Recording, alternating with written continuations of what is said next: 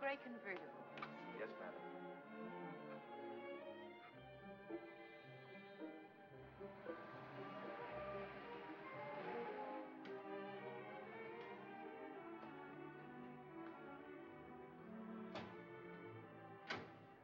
Turn off your motor, please.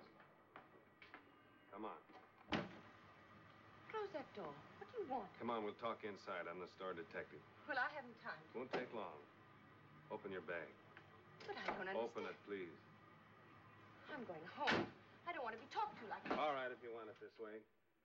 Harry, Yes, Mr. Hogan? I just want you to witness this. See this pin?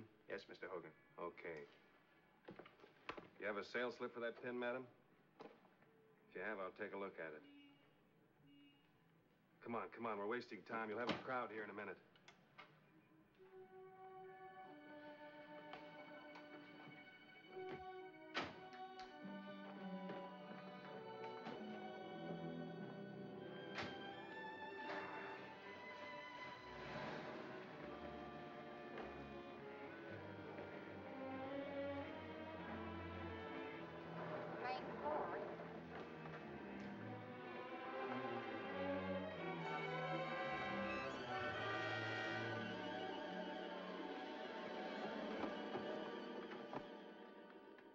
Probably just faking. Yes, they usually pull a feint when they're caught, especially the fancy looking ones. All right, lady.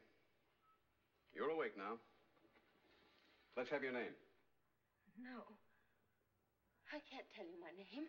We've got the goods on you. You can't wiggle your way out of this. The sales girl here saw you do your shoplifting. I certainly did. The mermaid pin was $300, and she said she wanted something more expensive. So I turned partly to the showcase, and, and I could clearly see your reflection in the glass as she the took... The pin was removed from your purse by Mr. Hogan here. Now, you can either give me your name and come clean with a statement, or you can save it all to tell to the police. The Police? If you know what's good for you, you'll talk now. You mustn't speak, Mrs. Sutton. You're still dizzy and too weak to remember. Hey, wait a minute. What is this guy, a lawyer? Mr. Sims knows who I am. Why, yes, but I'm busy, Mr. Korvo. If this woman is a friend of yours, the She's best no thing... friend of mine. It's you I'm concerned about, Mr. Sims, and your wife, who is a client and a very dear friend of mine. I don't think she'd like all the trouble you're making for yourself. Why, you don't have to worry about me, Mr. Korvo. I'm in no trouble, I assure you. Not yet. But you're starting one of the biggest publicity messes any store ever got into. This woman whom you're badgering is Mrs. William Sutton, the wife of the distinguished psychoanalyst. Treating her like a common thief will bring more discredit on you and your store than on her. Miss Wilson, will you see if Mrs. William Sutton has an account with us? Yes, Mr. Sims. I'm sure she has. You know, your job as manager is to protect your clients as well as your store from scandal. I don't need any advice about my job, Mr. Korvo. You'll think a little differently when you see your name splashed across the front pages as the man who hounded a proud, sick woman into a nervous breakdown. Oh, she's sick now. You know she is. You've had experience. A woman as wealthy and civilized as Mrs. Sutton isn't a thief. But the pin was in her purse. It wasn't the thief who put it there. I see. You mean she's suffering from kleptomania. Doctor and Mrs. William Sutton have had a charge account with us for five years. I see. Yes, I see. What you see is that Mrs. Sutton is wealthy enough to buy a dozen such pins. Oh, now, look, Mr. Korvo, I don't want any trouble. It Exactly just what I happened. thought. However, we'll have to make a record of this matter and keep it on file, even if we don't report it to the authorities. Thank you very much, Mr. Sims. And I suggest that you add the cost of the pin to Mrs. Sutton's bill, which will solve the immediate problem to everybody's advantage. It's now legally yours, Mrs. Sutton.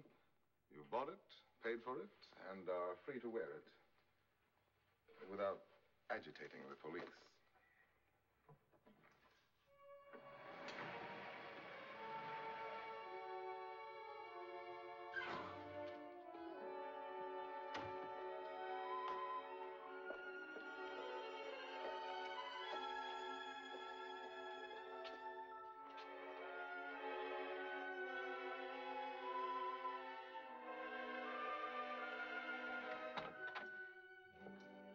There someone with my husband, Miss Hall? Yes, there is, Mrs. I want to see him. I can't wait. I must see him now. Please tell him. I have orders never to disturb him unless I know, I know, Miss Hall, I know. Of course, if you're ill, Mrs. Take Sutton, or there's something... Just give it to him. I'll wait upstairs.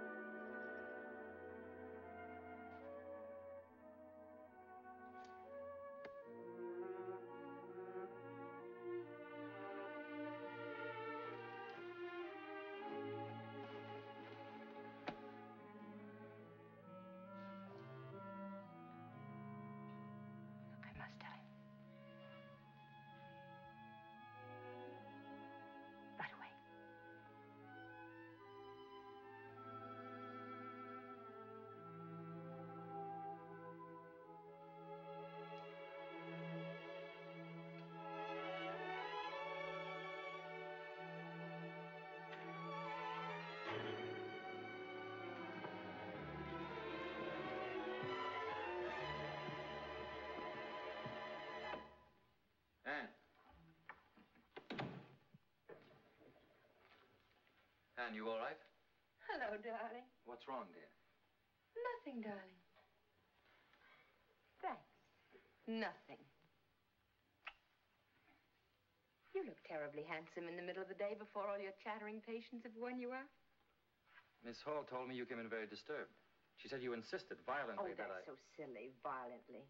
Darling, I just stopped to ask her if you were busy. I wondered if you wanted to go to the concert tonight. It's Heifetz.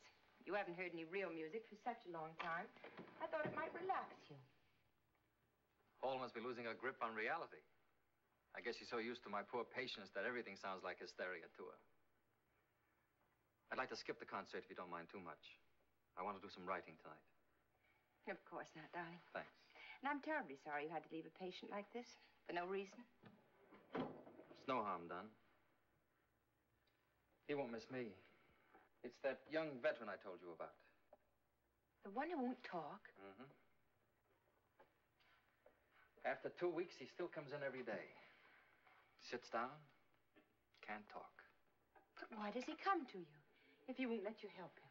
Oh, he will eventually. It's just that it's difficult to begin unloading fears and secrets and guilts. Poor fellow, the war was an easier conflict than the one he's in now. Oh, Bill. Struggling all day with those sick people and their wretched complexes. How you must hate them. I don't hate them, darling. I'm trying to help them.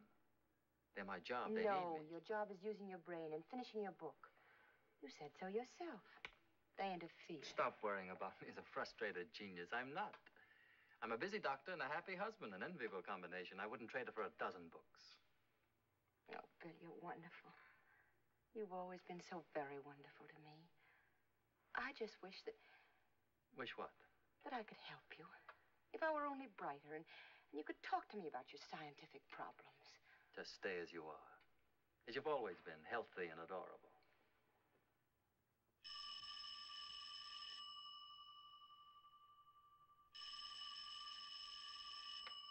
Dr. Sutton's residence. Who is it? Who's calling, please? Just a minute.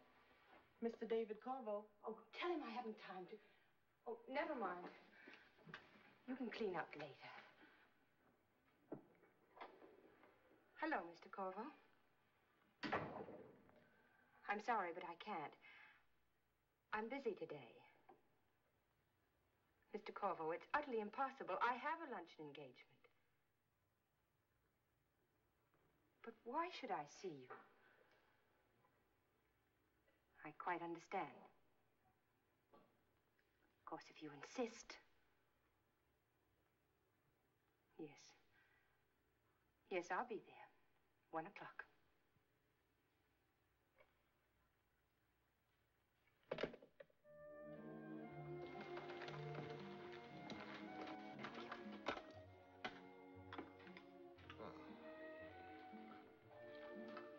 Thank you, Vincent. Uh, You were wise not to tell your husband, Mrs. Sutton.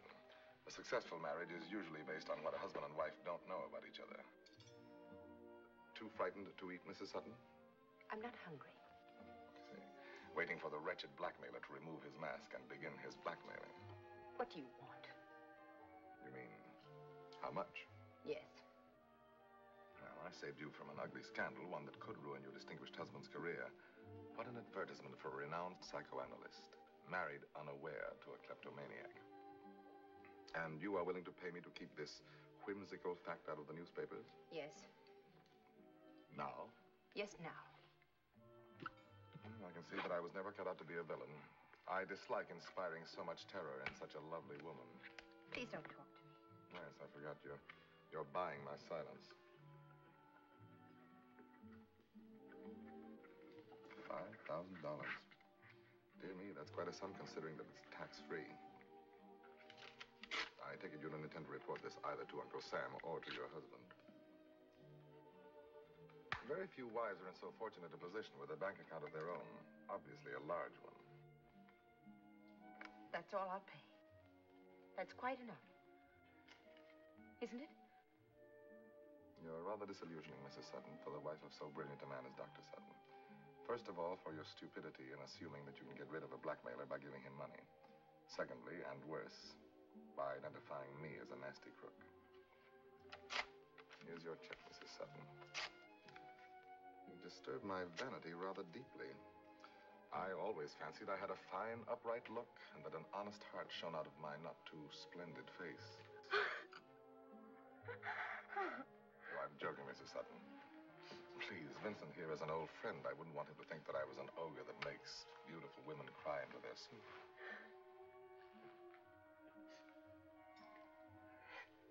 That's better. Thank you. And now, may I tell you why I insisted on meeting you? I had something to give you that I was sure would make you feel better about yesterday. I persuaded uh, the manager, Mr. Sims, to give me the Mrs. William Sutton shoplifting report from the store files. Here it is.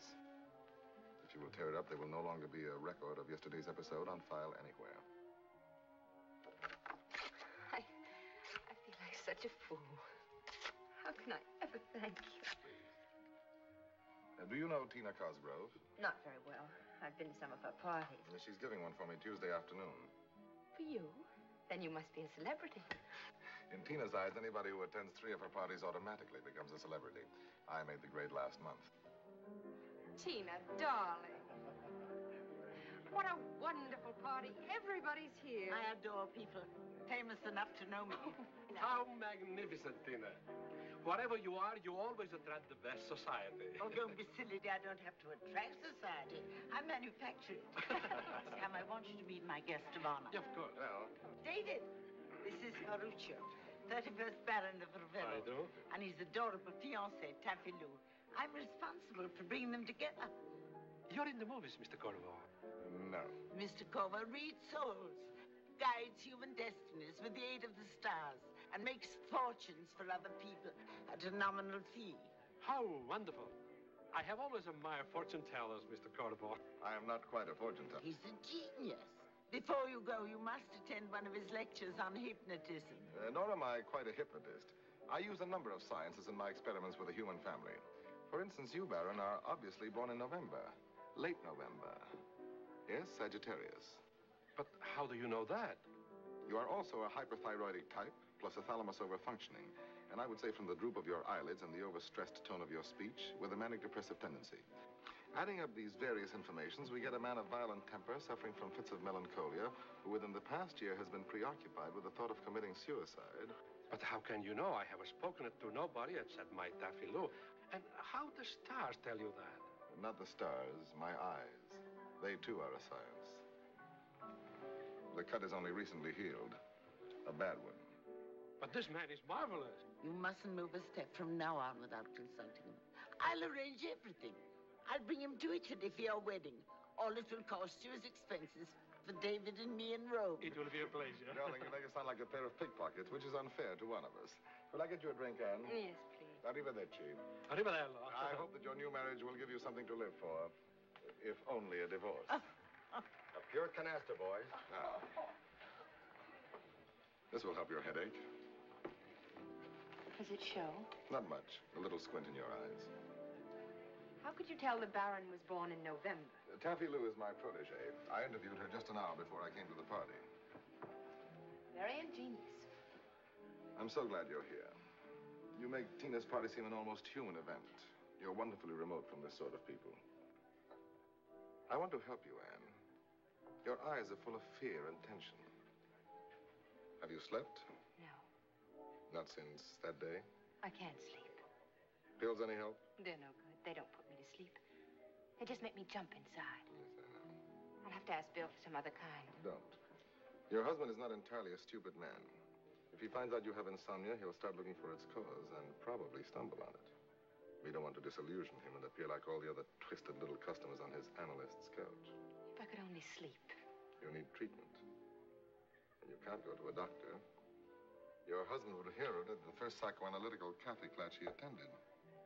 So perhaps you will swallow your prejudice against a humble astrologer whose only medical diploma is the gratitude of his patients. Thank you. But I can't possibly become a patient of yours. You are already. The fact that I know of your kleptomania, the fact that I know that your mind is sick and threatening to get out of hand, gives me a medical position in your life. Doesn't it? Yes, I suppose it does. You're relaxed with me. You don't have to exhaust yourself trying to seem normal. The serene and devoted wife who doesn't dare upset her busy husband. your soul can undress in front of me. That means that your cure is already beginning. I can make you sleep. Every night. Nine hours of peaceful, happy sleep. How? Trust me. Look at me. There are no thoughts in your mind, no fears. Trust me. I can help you. Don't think of anything. Forget. There is nothing to remember. Just close your eyes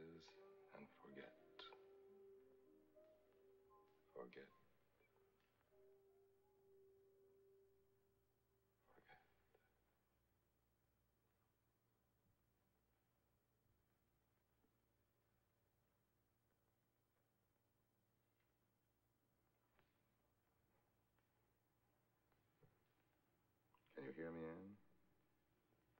Yes. You can hear only my voice. All of the sounds have faded away. You will hear only my voice until I wake you up. Yes. You must do what I say. Do you know that? Yes.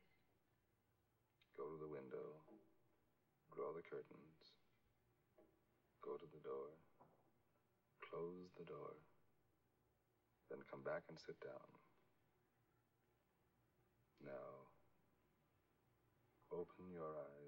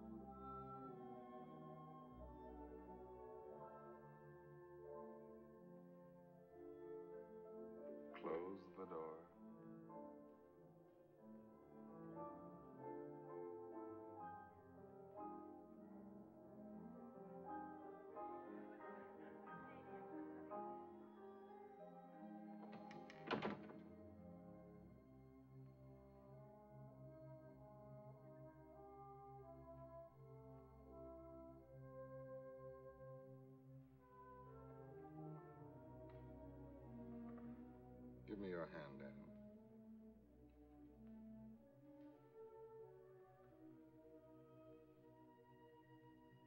Put your hand in mine, Ann. Hold my hand.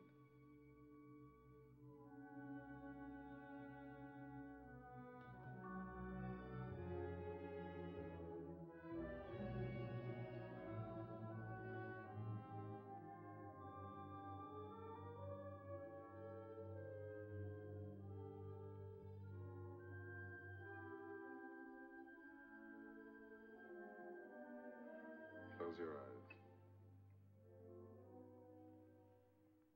I'm going to leave an order in your mind that you will obey later.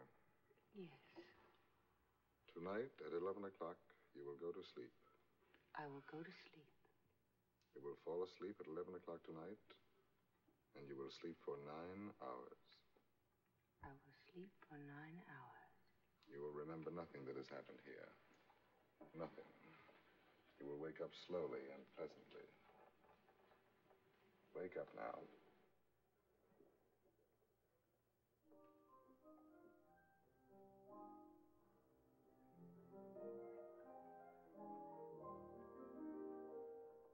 Was I asleep?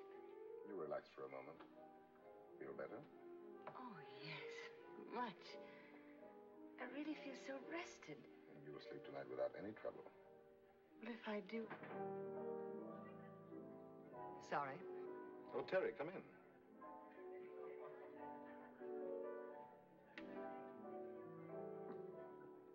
Well, who was that? The woman who no longer admires me as much as she used to. Her name is Theresa Randolph. At 3 o'clock tomorrow, Ann? What about three o'clock tomorrow? I'll expect you then at my apartment. Your apartment? you give that simple word a wealth of sinister meaning that almost brings the Victorian era back into existence. I work at my hotel. I find it more convenient and less expensive. I'm sorry. Three o'clock tomorrow? Yes, I'll be there. Look, the 31st Baron of Ravello looks as if he may escape with all his palaces in your absence. You better do something about it. I'm delighted to have brought back a little of your wit, even at my expense. Ma barone, perché andate via tanto subito? Rimanete pure, vi prego. In the meantime, I'll be E siete mio invitato favorito, bravo. How do you like that? He speaks Italian, too. Poor girl, something out of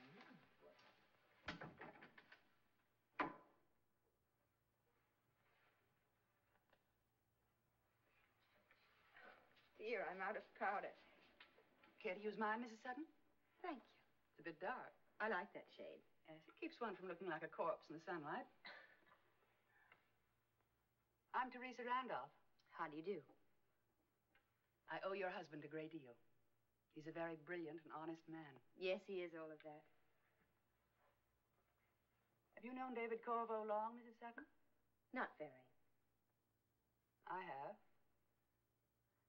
Course, it's none of my business, my dear. I belong to no Wives Protective Association. What do you mean? I mean only to be helpful. I'd like to warn you about David. Warn me? Aren't you being rather presumptuous, Mrs. Randall? You have no reason to be jealous of me. Old enough to be your mother. Jealous? He's after your money, Mrs. Sutton. And he'll get it. He'll keep after you till he has what he wants. He never stops. He's lived off women all of his life. That's contemptible. I won't listen to you. I forbid you ever to talk to me like this about David Korvo. I warn you, I'll stand for it. Girls, girls battling over dear David in my bedroom. It's the most dramatic thing that ever happened in it.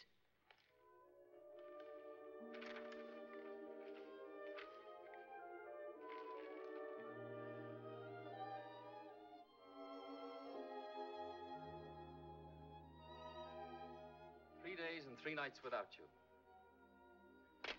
You know, that's a great sacrifice to make for psychiatry. Would you like me to go along, Bill? I love San Francisco. Oh, bore you to death. Afternoon and evening sessions. I wouldn't go myself if I weren't slated for one of the main discussions. Of course you must go. I'll be lonely. Very proud of you. Oh, darling, I'm all greasy. A minor handicap. You have a good time at the Cosgrove party this afternoon? Yes, very nice. I'm glad. Who was there? Oh, the usual people. You know, the greatest kick I get when we go to a party together is when people stare at you and say, Who is that lovely girl? Why, that's Dr. Sutton's wife. She's very devoted to him. My head swells up like a balloon. Thanks, darling. Oh, I'm terribly sleepy. What time is it? Just 11. Sorry, but I. I've got to sleep. I'll put out the light in just a minute. Well, my sleeping beauty. Take off your robe and slippers.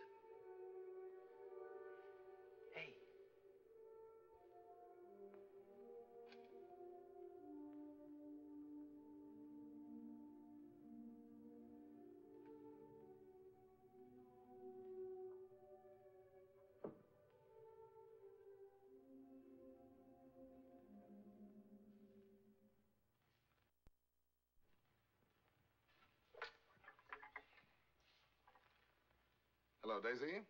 I'm expecting a visitor, Mrs. Sutton. Will you tell the desk to send her right up? And don't put through any calls until I let you know.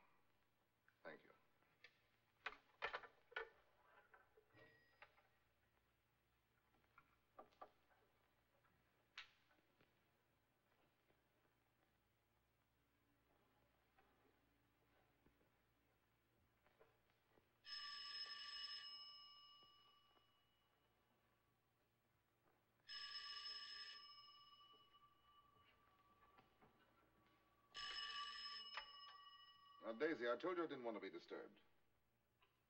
Palm Springs. All right, put it through. Oh, Terry, I was wondering who could be in Palm Springs on a Wednesday.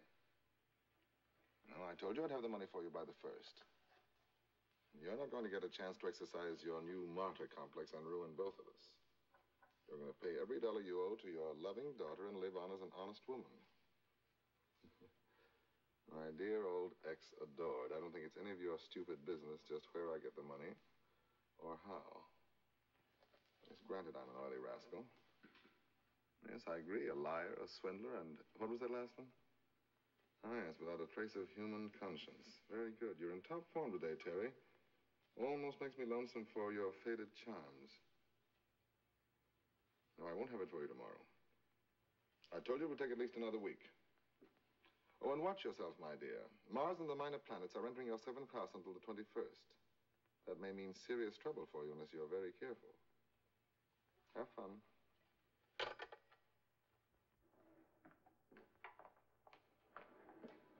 Is Mr. Korvo in? Mrs. Sutton? Yes. Please go right up. Apartment 9B. Where's the house telephone? Right over there, but Mr. Korvo is expecting you. Thank you. Apartment 9B, please.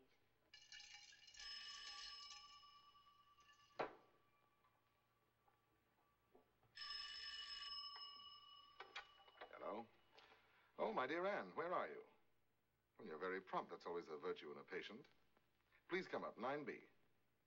What? Well, My dear Ann, you're being utterly absurd. I always see my patients in my apartment. Well, it's my office. Very well, I. I bow to your abysmal scruples.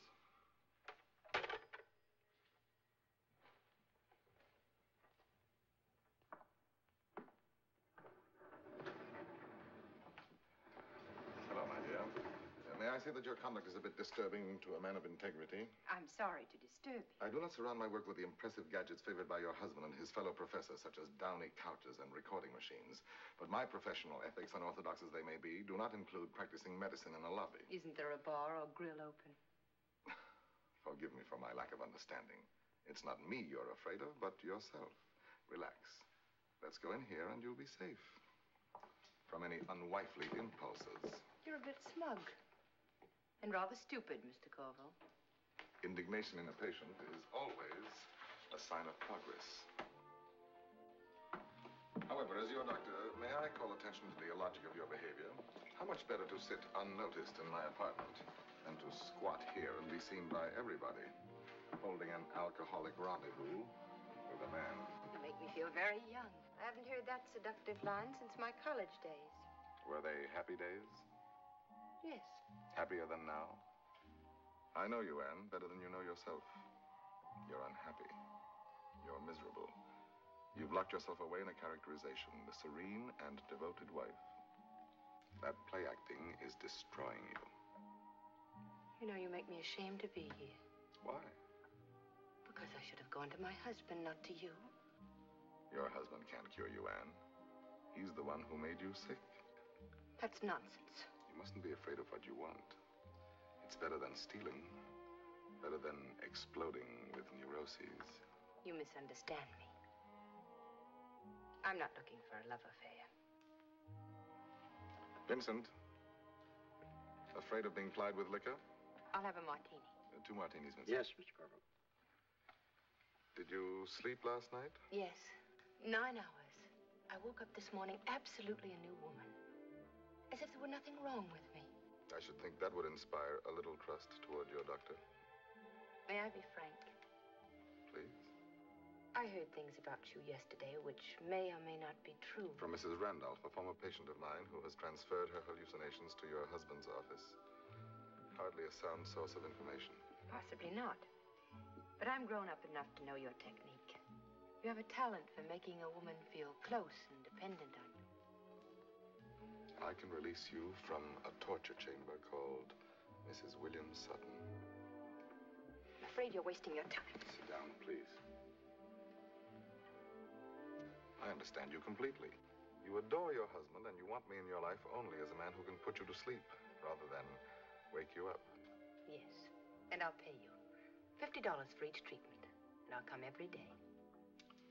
Where do you want your treatments? Here in a bar room? Why not?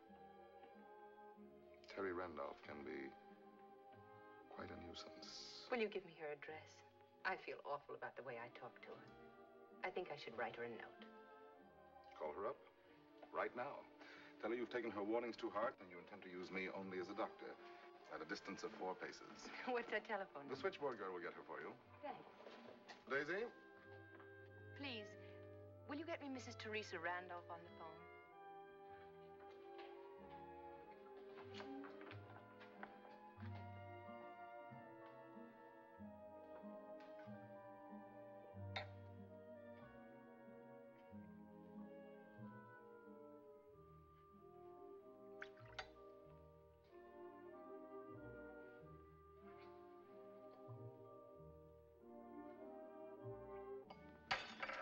Vincent.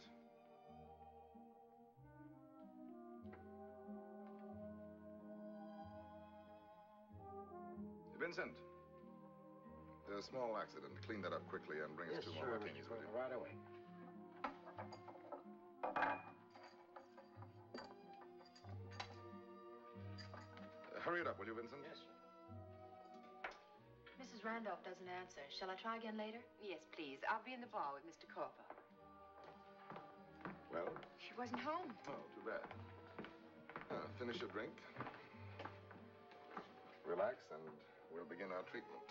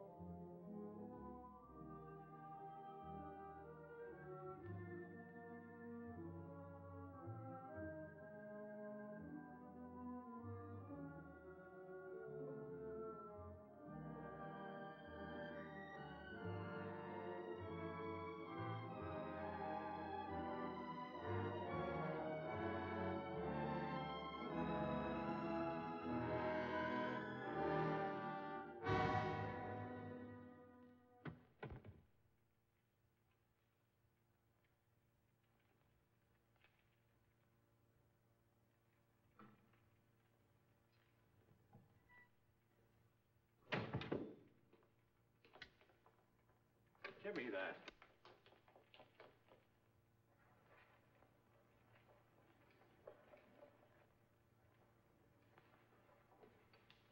Dead? Yeah. Turn off the burglar alarm. I'll call the police.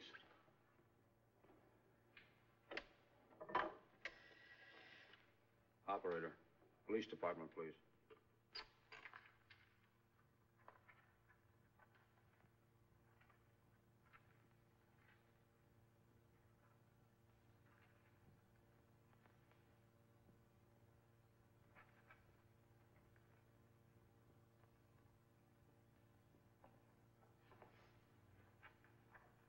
Statement, Mrs. Sutton. Is there anything you don't agree with, please mention it.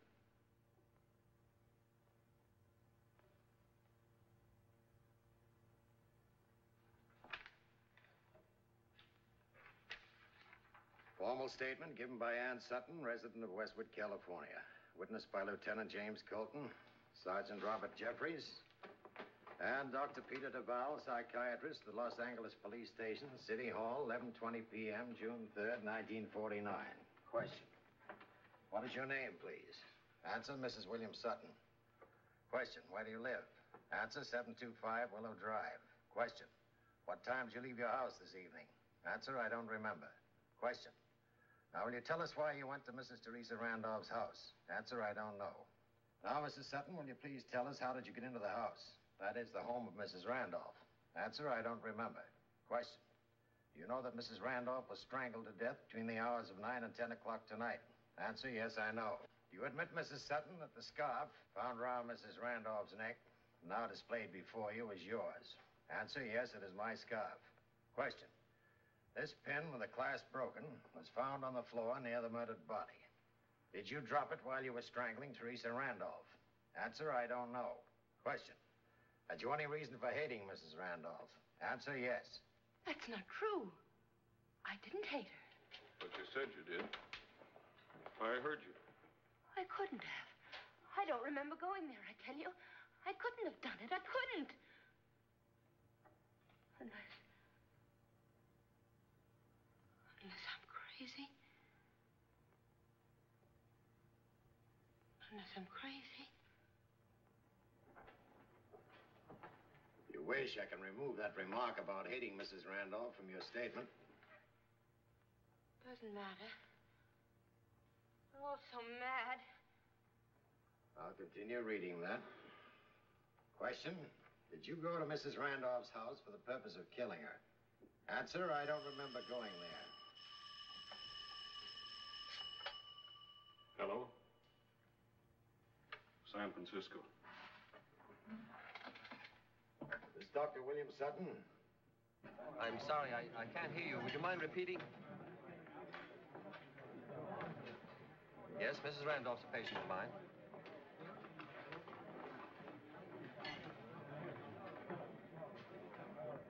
What?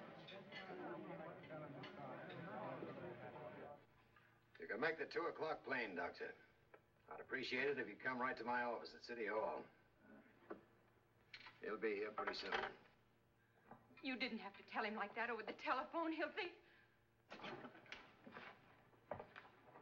What'll he think, Mrs. Sutton? That I did it. That I killed her. You wish to state now that you didn't, Mrs. Sutton? I don't know. I don't know what happened. I can't remember anything. I'm dreaming all this. What do you say, Doc? Can she follow? Yes, I think so. The shock is wearing off. Uh, just a little more, Mrs. Sutton. Question Is there anything more you wish to add to this statement, Mrs. Sutton? Answer no. Question You admit that this statement was given by you of your own free will, voluntarily. No promise of immunity or threats of violence were used on you. And after it's reduced to writing, you're ready to sign it. Answer I'll sign it. Finished 11:43 p.m. Here you are, Mrs. Sutton. Bottom of the page, please.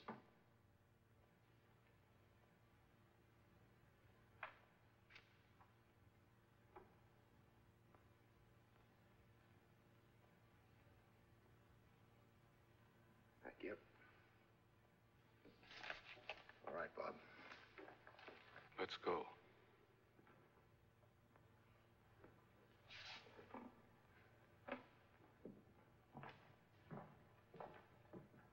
Don't care what she signed. She's not guilty of murder. I put it in the open, Doctor, because I'd like to ask you some questions that might clear things up for both of us. Did your wife ever talk to you about David Korvo? What's David Korvo got to do with her? Dr. Sutton, I know this is tough for you. But you're entitled to know all the facts. Your wife was tied up with David Korvo kind of intimately.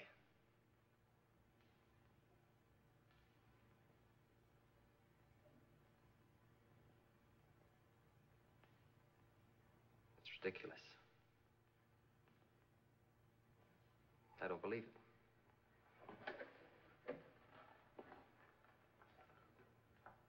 I refuse to listen to that kind of talk about my wife. I'd listen if I were you. It's part of the case against her. You can't tell me my wife and David. Sorry, Doctor, to rub it in, but we have witnesses to their relation. The staff at Korvo's Hotel.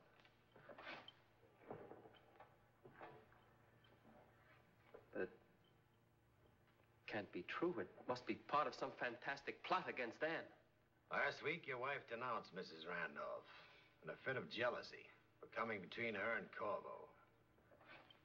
Happened at a party. Your wife paid daily visits to Korvo's hotel for a week before the murder. She sat drinking with him in the bar room. She quarreled with him there one day, broke a glass, then rushed out to telephone Mrs. Randolph. You have witnesses for that. Yes.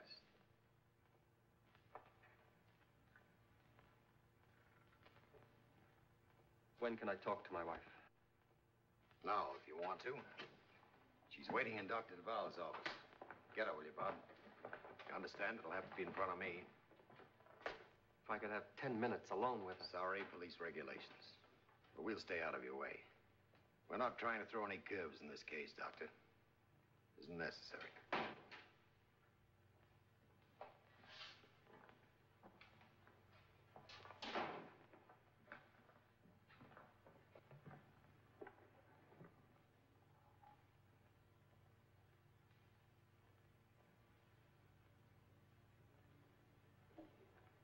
Please.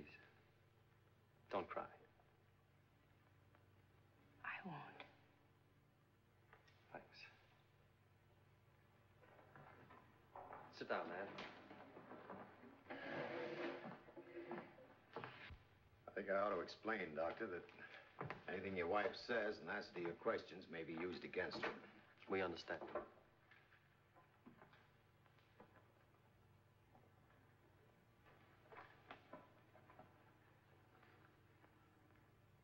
Bill, there's something wrong with me. Help me. Please. I'm going to help you with everything I've got, regardless of any other circumstances. What other circumstances? You'll tell me the truth, Ann? Will you? Of course, darling. I want to hear about David Korvo. Why, I met him just a few times. Go on. That's all, Bill. He hasn't got anything to do with this. He has. How? You've been to his hotel. No. You were seen there with him time and again, drinking. Yes, that's right. I met him in the bar. I meant I never went to his apartment. You fought with Mrs. Randolph at a party because you were jealous of her. Jealous? How can you think that? Do you love a man? Oh, no, no, Bill. It's nothing like that. And forget that I'm your husband. That doesn't matter now. We'll talk about that side of it later when you're out of your present danger. The truth is, you've been seeing Korvo for weeks at his hotel. He was helping me. Because I was sick. And You went to a quack like Korvo for doctoring? Yes. You were sick. What was the matter with you?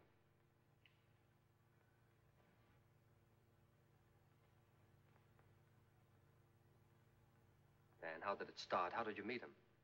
You wanted to tell me? Tell me. I'm mixed up, Bill. What are you asking me? How did you meet David Korvo? You won't believe me. No matter what I tell you. You don't want to hear the truth. You won't let me tell it. You think I'm lying. You are. Oh, no, Bill. Does this cheap parasite mean this much to you that you're He willing to wreck nothing. everything to cover up for him? Cover up for him how? You saw him there. You saw him kill her. You're trying to protect him. Oh, no, no, Bill. I didn't see him. You don't believe me.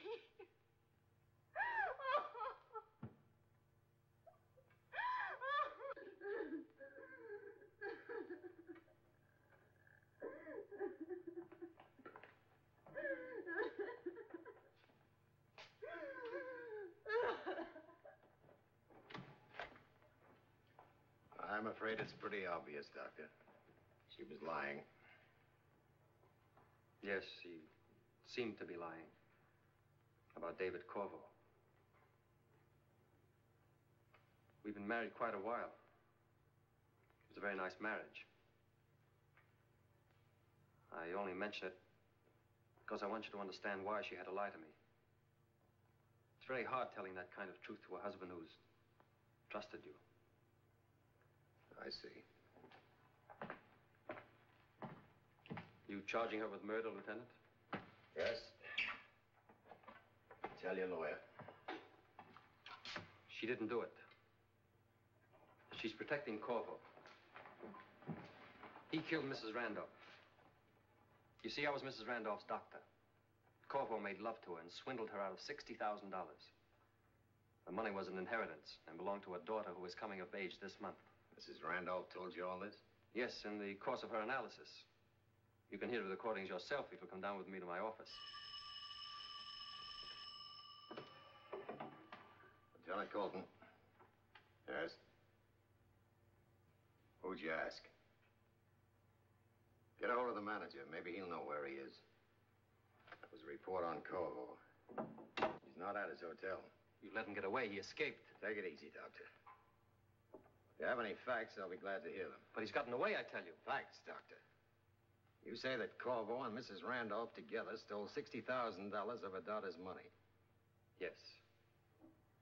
I advised Mrs. Randolph to tell her daughter the truth. And to take David Korvo into court and face the whole rotten mess is the only way she could keep her health. She agreed. She saw Korvo and gave him a week to return the money before taking action. He beat her up and threatened to kill her. But she was determined to go through with it. She was going to notify her daughter and a lawyer on Monday. Korvo killed her to keep from going to jail as a swindler. Hold it a minute. Sounds pretty solid to me. Lieutenant Colton? You have, eh? Where is he? What? Okay, get over there. I'll be right with you.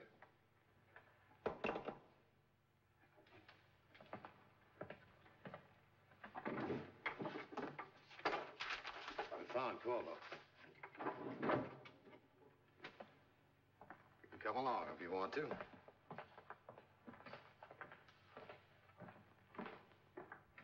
In here, Lieutenant.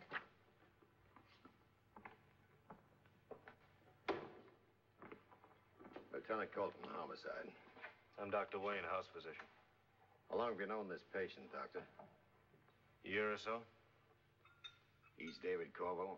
That's right. I don't like to interfere, Doctor. Go right ahead. When was Mr. Korvo operated on? 2 p.m. yesterday. It's about 16 hours ago. Yes. You were present during the surgery? I assisted Dr. Winslow. What surgery was done? Gallbladder removal. How is he? He'll be all right. Let it go too long, they usually do. I advised him six months ago. May I look at the chart? You're Dr. Sutton, aren't you? Yes. Thought I recognized you. You've doctored the chart, Miss Elliott.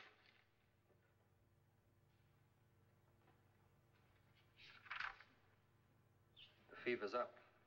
This indicates an infection. Yes, went up at night. Had to do a lot of sewing inside. It may be a stitch infection. Penicillin ought to bring that temperature down. A few hours. What's he getting? Saline solution intravenous. He's kind of weak, lost a lot of blood. Can't take food or water for two days. Just wet his lips a bit, Miss Carroll. Yes, Doctor. Might I ask the reason for these questions, Lieutenant? By checking on Mr. Korvo's whereabouts. Hmm? When? Between 9 and 10 o'clock last night. Guess you found out. Yes, guess we did. Thanks for the cooperation, Doctor. Glad to be of any help.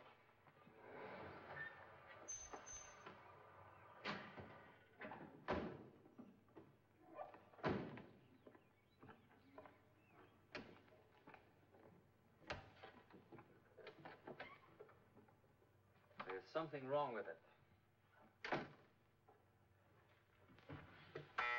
There's something wrong about what we saw at that hospital.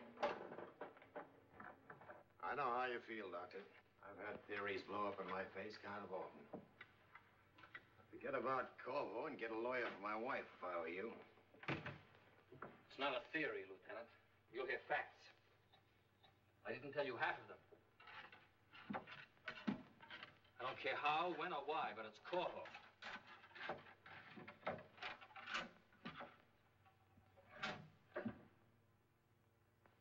I put them in here myself.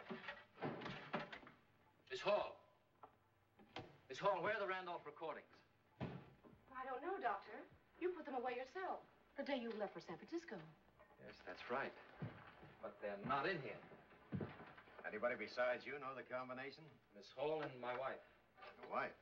Yes, she keeps her jewels in here. Did you open the safe while I was gone, Miss Hall? No, Doctor, I did not. How long have you worked for Dr. Sutton, Miss Hall? Six years. She couldn't have taken them, I know it. Try to remember. It's important. Did you move them? No, Doctor. Did you ever hear what was on those recordings? No. I never heard any of the recordings.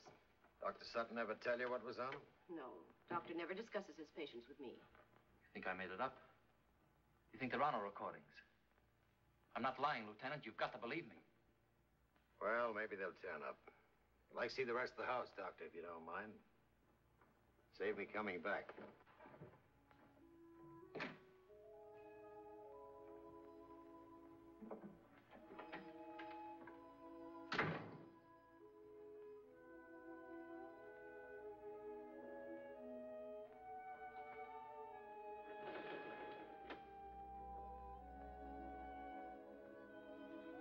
Wife's handwriting, Doctor? Yes. Did you say that was meant for you? I don't know. I'll take it along.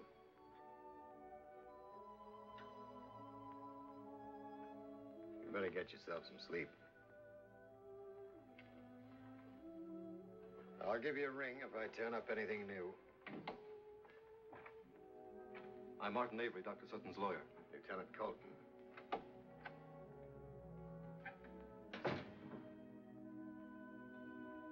Bill, you know how I feel. Ann is like a sister to me. I've just seen her. I'm your friend as well as your lawyer, Bill. Situation may change, but right now, well, it's bad, Bill, very bad. There's no use beating around the bush. Ann is not responsible. That's our only and best defense, insanity. The man Korvo drove her crazy. We can prove this, both medically and legally.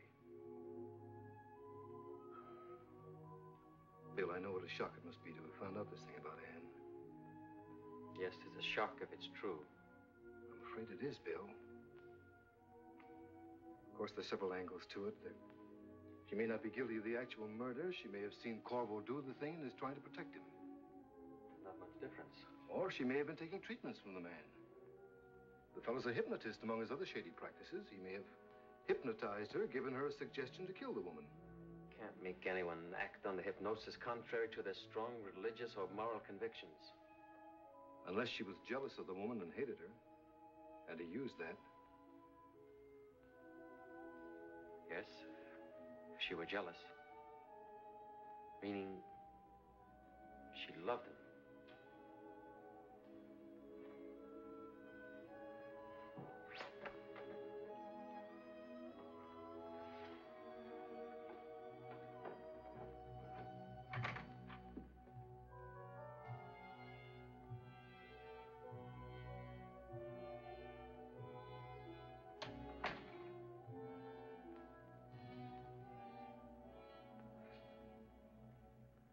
Sit down, Dr. Sutton. I'll try not to doze off if you want to talk to me, Dr. Sutton. My fever's down, back to 101, I think. I'd give a lot for a sip of water. Please sit down. Easier for me to talk to you. Police still holding Ann? Yes. Stupid. Arresting an innocent woman. Medical chart meet with your approval, Dr. Sutton? You were in great pain last night. The notation of an oversensitive nurse. A few spasms. Does Ann know I'm here? I don't know. I meant to call her this morning until I read the papers. Rather, the nurse read them to me. My eyes aren't focusing yet. Typical police bungling the whole thing. Ann isn't guilty. What makes you certain? The motive, jealousy. Completely stupid. Ann wasn't jealous. Just a few days ago in my apartment, we discussed Terry Randolph thoroughly. My wife was never in your apartment. If you insist. What was said by you and my wife about Mrs. Randolph? Wherever it was said. I told Ann I was through with Terry, and she believed me. A man of experience always knows when a woman believes him. She was all over her jealousy. Sorry. It's hard to think. Full of drugs. Shouldn't have said that to you. Why not? Wrong to tell things to a husband. What are you telling me? Say it. Say it straight, Korvo. I didn't know one had to blueprint the facts of life for a great psychoanalyst. You're lying. You're not drugged, you're acting. You want me to think Ann loved you. You want me to believe that, don't you? Don't you, you cheap rat? Your bedside manner is a little odd, even for a psychoanalyst. Poor Ann in jail, in real danger, and you bellowing with wounded vanity. If you can rid yourself of some of your husbandly egomania, maybe we can both help save her.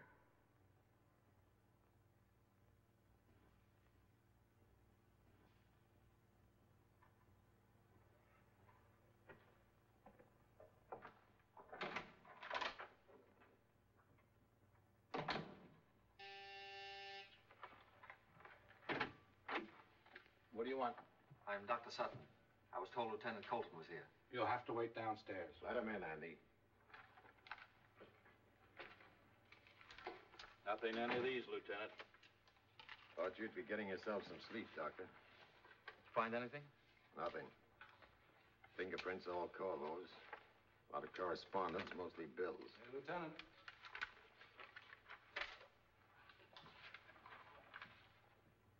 Finally got a bite, Lieutenant. Looks like a woman's. Yeah. Index, middle finger, and thumb. All clear as rain. Looks like the lady was her, all right. Bring these to my office. Keep looking. Coming, Doctor?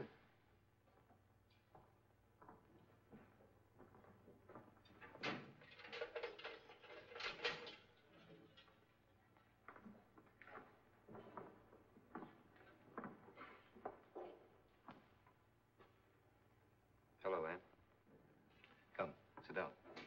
You get any sleep, Ann? I've uh, talked it over with Bill, and we've decided on a line of procedure. We'll plead not guilty and not guilty by reason of insanity. Does Bill want me put away as a lunatic? Is that the procedure? Ann, we want to save you, Bill as much as I. We'll prove that your relationship with this man, Korvo, unbalanced your reason temporarily and drove He you He had to... nothing to do with it. He didn't unbalance me or drive me to anything. Bill did. I don't think there's any point in my listening to this, Lieutenant. No, don't listen to it. Run away from the truth, as you have ever since you married me. You made me play act. I had to pretend I was healthy and happy when I was sick and miserable. Headaches, I couldn't sleep. Afraid to tell you.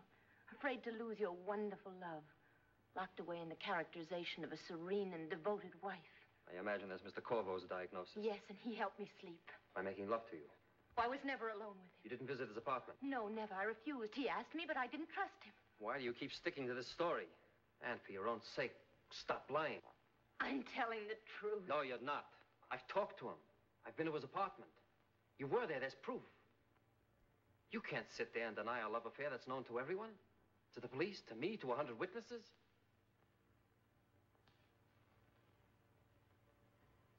You've made your choice. You don't want my help. I can't be of any more use here, Lieutenant.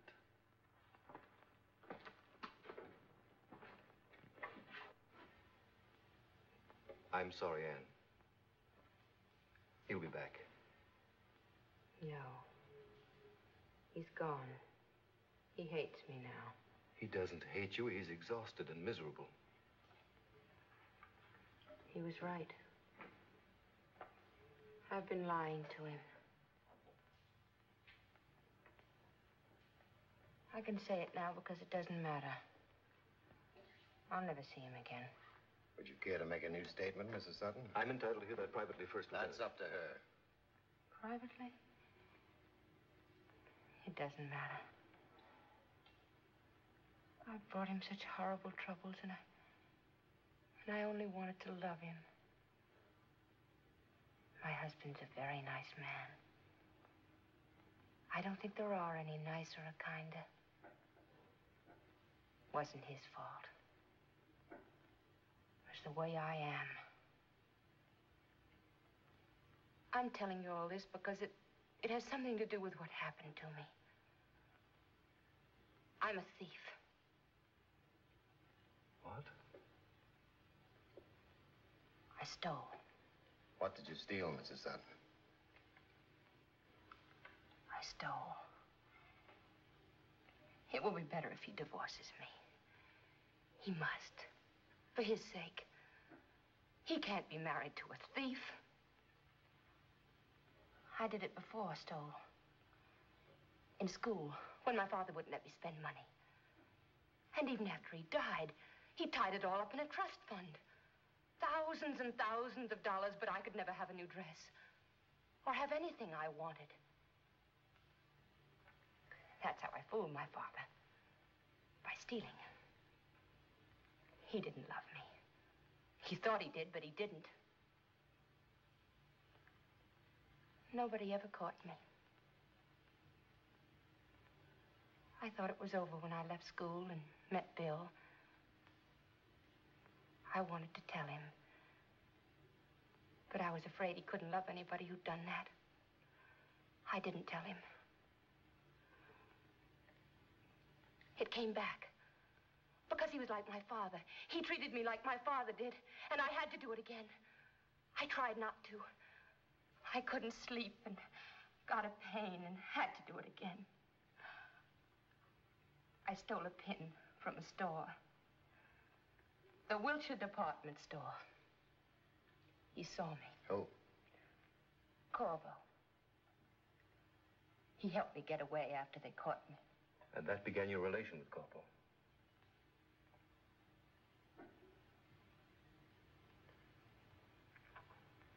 I've told it. Is there anything you wish to add, Mrs. Sutton?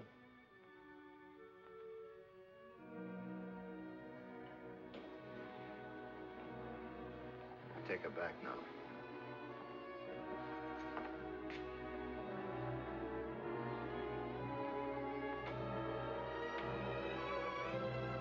Well, Doc, I don't know.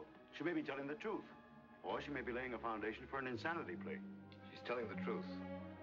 And that gives us our first link in Korvo's hold over her. Blackmail.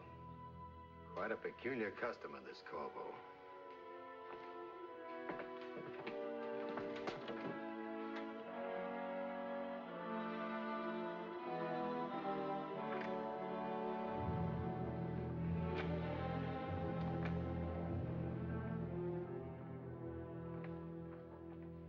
I'm Lieutenant Colton, Homicide Bureau. I saw you this morning, I think. You like talking? Not much. I won't bother you too long, then. How'd you happen to meet Mrs. Sutton? I imagine she's told you. You tell me. We're checking with the Wilshire department store, so if it's true, you might as well tell me. It's true. You saw her steal a pin and helped her out. That's right, Lieutenant. I understand you had quite a talk with her husband this morning. Yes. Difficult conversation, but civilized. No blows struck. Told all, eh? Kind of let her down in a hurry. I'm a bit too adult to cover up for that kind of a woman. What kind is that, Mr. Korvo? The disloyal wife. Don't misunderstand me. Personally, I have nothing against women betraying their husbands. Even our government is against monopoly. Oh, I seem to have offended you. I take it from your unpoliceman-like blushes that you're a happily married man. I was. She died last month. Sorry. Gallbladder operation like yours. Only it didn't turn out so well. From a lot of angles. That operation of yours saved you a lot of trouble. In what way, Lieutenant? You'd have made a pretty good suspect. Better than poor Ann? Much. I'll talk it over with you sometime when you're feeling better. Just a minute. You've made a rather startling accusation, Lieutenant. It's not fair to leave on that. Well, we hear you extorted $60,000 from Mrs. Randolph. She was threatening to pull you into court to get it back. You beat up Mrs. Randolph, threatened to kill her if she exposed you as a trimmer. She died just in time for you to miss that. May I ask who is responsible for these rather stupid rumors? Dr. Sutton. The husband of a woman who seems to be guilty of murder? At least, according to the police. Maybe he has evidence. You mean the recordings of Mrs. Randolph's analysis by Dr. Sutton? You know about that? Oh, it's one of the latest wrinkles in psychiatry. Wiretapping the subconscious. The babblings of an elderly siren being treated for mental disorders are hardly evidence. Even for a third degree, Lieutenant. That's why you're here. You've been listening to Mrs. Randolph accusing me from beyond the grave. Why not let me hear the recordings, Lieutenant? I think I'm entitled to know what else is in them, Lieutenant. I have a certain standing that might well be ruined but.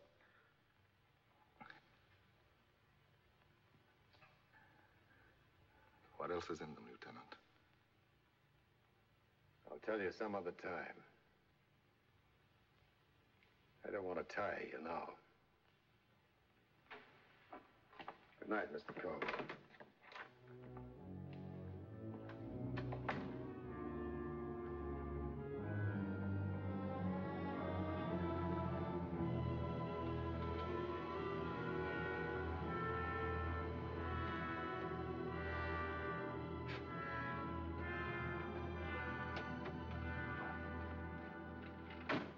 I had to see you, Lieutenant.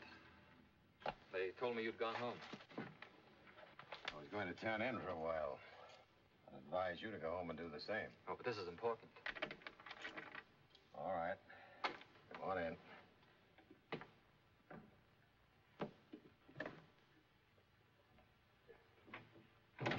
Kind of empty in here. I usually go in the kitchen.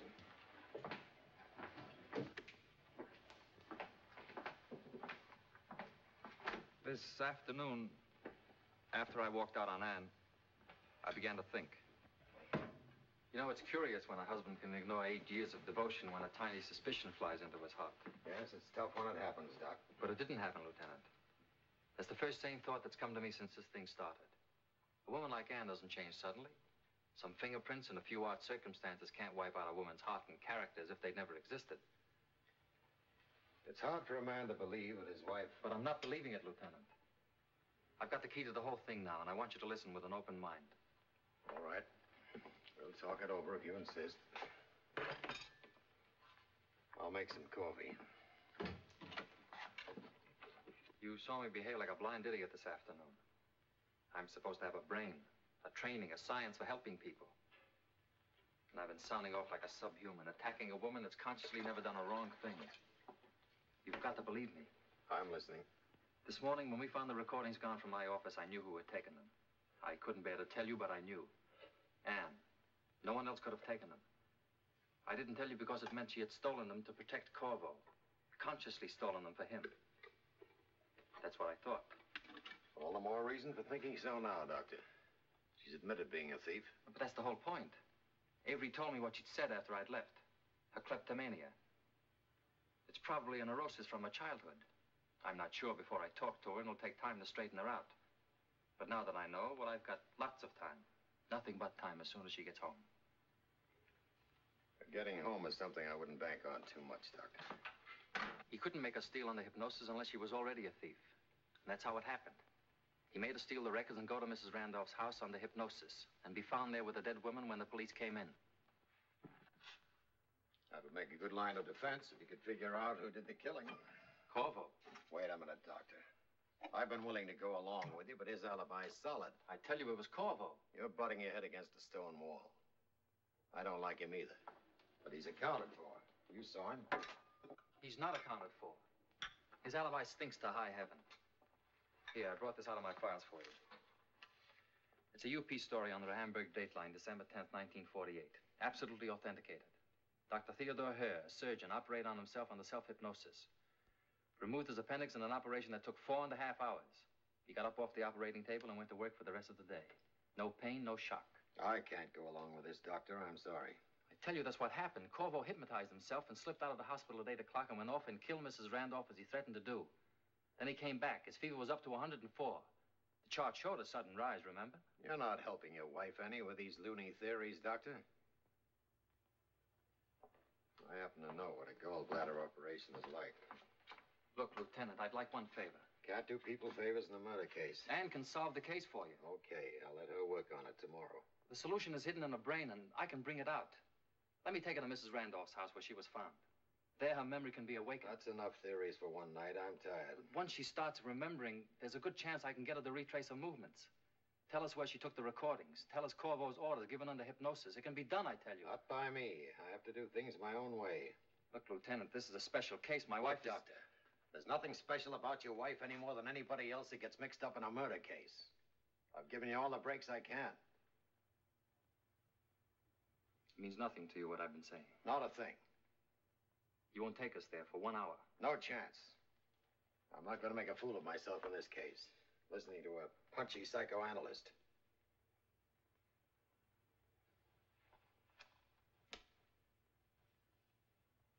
I guess I'm the fool. Twice in one day. I can't expect you to see Ann with my eyes. She's my wife, not yours. Sorry to have bothered you. See you tomorrow. Daisy tells me the police were here this morning. It's a shame to bother you when you're so sick. That's the way the police are. Always walk right in. I knew Mrs. Randolph rather well. Yes, the girls were saying What were the girls saying? there's a big news story in the papers this afternoon about the police suspecting somebody besides Mrs. Sutton. Who? They don't give any names, but seems there are recordings of Mrs. Randolph's accusing somebody. They say these recordings would show who the real murderer was, no matter what alibi he has. And they're hunting all over town for them. Who's hunting? The police. They say that a new arrest will be made as soon as they find the recordings. There, I think you'll sleep tonight. In case you don't, Miss Carroll's on the floor. She has the pills. Tell her not to disturb me, please. Want your light out, Mr. Korvo? Yes, I just want to sleep.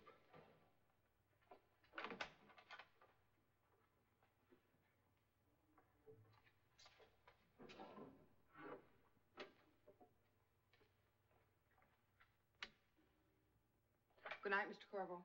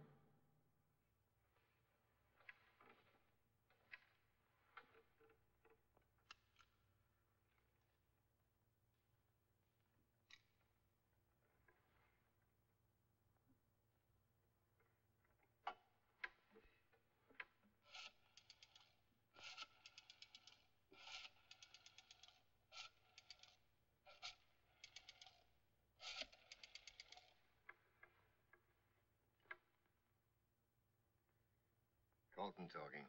Who's this? Listen, Andy. Get Mrs. Sutton down to my office. I'll be there in 15 minutes. And what's Dr. Sutton's number? Analysis, Mrs. Theresa Randolph, ninth week, June 1st, 1949. I have so much to tell you, Dr. Sutton. I saw David. I'm glad you did. I faced him. He insisted on meeting me at the Green Star Motel. We used to meet there at the beginning. He thought That's all right, Mrs. Randolph. I can imagine what he thought. he came in beaming. And he put his arms around me and started to make love to me. I said to him, David, stop that. You're ridiculous. He kept trying to kiss me. I laughed at him. He stood pouting like an idiot. I felt strong, Doctor, and cleansed. Feel him out of my nerves, out of my skin. Even his voice, it used to thrill me so. Sounded stupid. Did you tell him your plan? Yes, yes, I told him. I told him that he had until Monday, not one day longer. And then I was writing my daughter's guardian the full story. And, and going to my lawyer on Monday. And that I wasn't afraid to face what I'd done. Wouldn't you be more comfortable if you removed your hat, Mrs. Randolph? I can't. Why not? I'm so ashamed. I hoped I wouldn't have to tell you. But I will. He beat me. He hit my face. The hat hides the bruises. He beat me and he, he said he'd kill me before Monday unless I changed my mind. The motel owner really saved my life. He,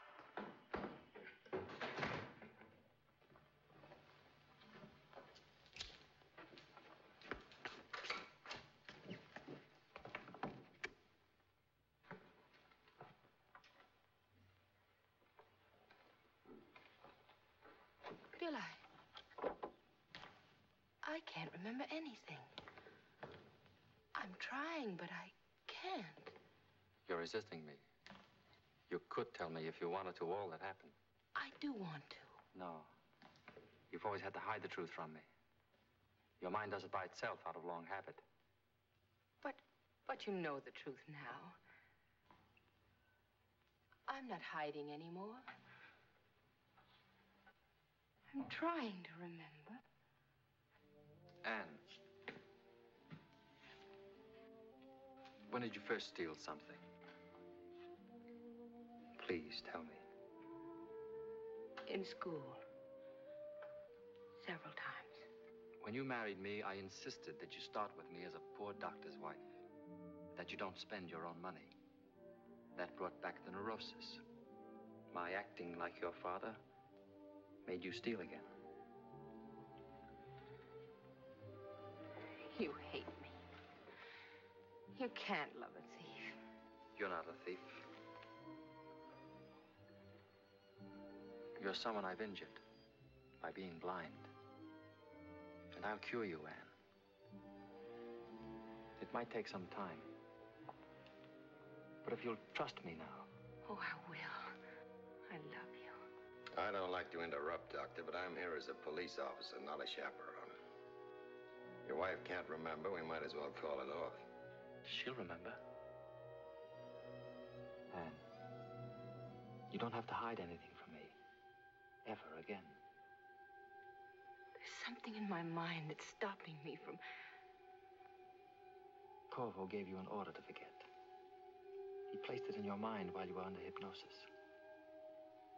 You're obeying his order. Don't obey him anymore,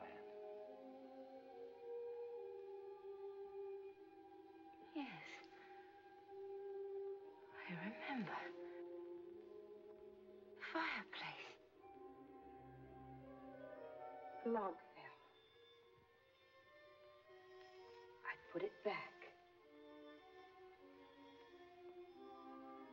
You're right.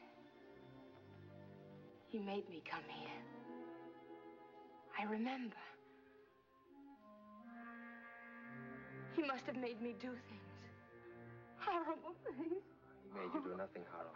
Darling, try to remember me. I don't think it's going to work, Doctor. Yes. Wait. I remember. She was sitting here. Her head was hanging down. I touched her face. Before you came here, you went to my office. Do you remember that? Yes. I opened the safe. To take something out. The Randolph recordings. Where did you take them? I hid them. Where?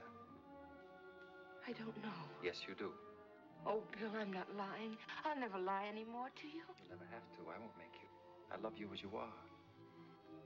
Bill, I, I put them away Where?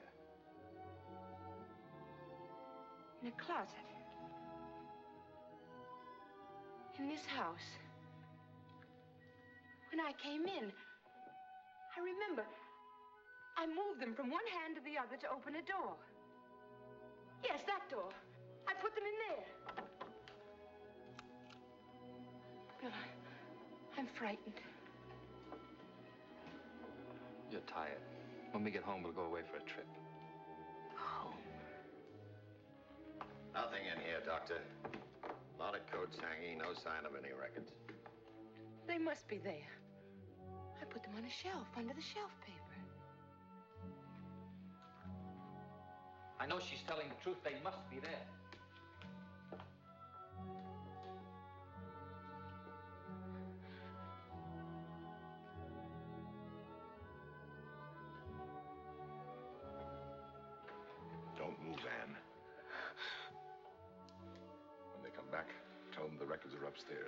Upstairs bedrooms. I can get away if you do that. Otherwise, I shall have to shoot. Please believe what I'm saying. And don't rely on my sanity. Send them upstairs. If I get away, one will be killed. Ann, the records are not in the closet. I want you to try remembering again. Your wife looks tired, Doctor. We can come back tomorrow. Her memory's working now. It'll work just as well in the morning. Yes, tomorrow. You promised me an hour, Lieutenant. If she can't tell us anymore, we'll search the house. We can begin with this room. Oh, Bill, I remember now. What? Upstairs. You took the recordings upstairs? Yes, to a bedroom. Are you certain? Yes, in, in a bedroom closet on the shelf. Have a look. Bill, I'm lying. I can't lie to you anymore, no matter what happens. They're not upstairs. Bill, he's here. He's hiding there. Korvo. Now move your hand, Lieutenant. I'll shoot. Stand still. The records you're looking for are in a very natural place. On the phonograph. I found them somewhat amusing. I didn't see him after this, They'll entertain you, I hope, but he telephoned me. during my departure. He woke me up in the middle of the night. He said, I'm not pretending, Terry. I will kill you if you force me to. And nobody will ever know who did it. Don't move. Then he denounced you, Dr. You're Sutton. bleeding to death, Korvo. Look, He said he hated you. And that you were responsible for everything. Stay there. And I said yes. you'd better let us help you. Yes, Dr. Sutton has given me Stand strength back. to live as a human being. You're too clever for this, Korvo. You know you can't get away. I've done many things too clever for you to understand. David Korvo I've overlooked nothing. He's You'll never make it. I'm terrified. He'll I'm afraid you're right. Nobody'll ever know. He'll never pay. Tonight I was a bit stupid.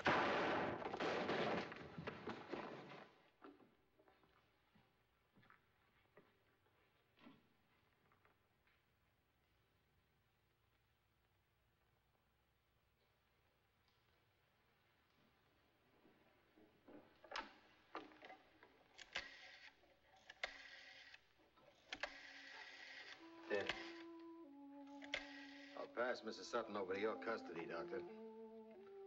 Emergency desk, please. Nice to have a wife come home to you. Hello, Lieutenant Colton speaking. Send an ambulance to 1400 Canyon Drive to pick up a body.